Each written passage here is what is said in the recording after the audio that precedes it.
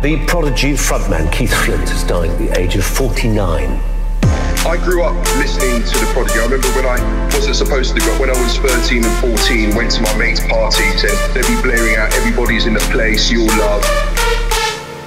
When you hear their tracks, it's, whether it's raging, it's those bass lines, it's certainly leaders in electronic music.